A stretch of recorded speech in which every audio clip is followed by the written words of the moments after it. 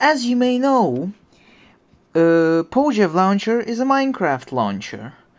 Uh, well, uh, now you are wrong. And I'm ready to prove it to you. That's not Minecraft.